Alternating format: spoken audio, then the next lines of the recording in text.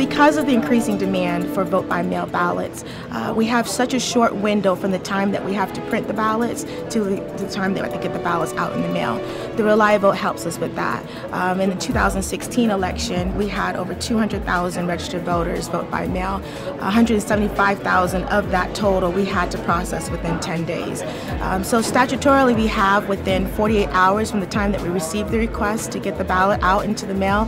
Uh, and I don't think we'll be able to, especially with the growing demand for vote by mail ballots, we'll be able to accommodate that unless you know, we had something like the Relia-Vote. Prior to the Relia-Vote, we would have to have at least 50 to 100 temporary staff come in and actually do that manual process.